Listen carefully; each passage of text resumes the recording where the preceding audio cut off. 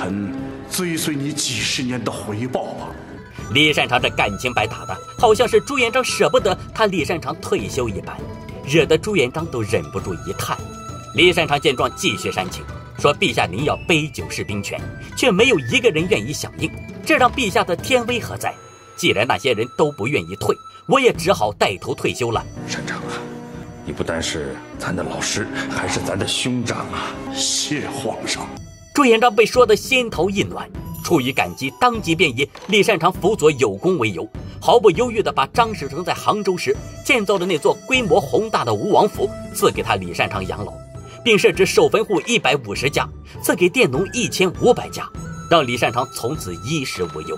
为了打消他的顾虑，朱元璋又特意强调，上赐的这座吴王府并不是想把他拘在杭州，啥时候想回京城了，你就回来，咱亲自陪你喝茶。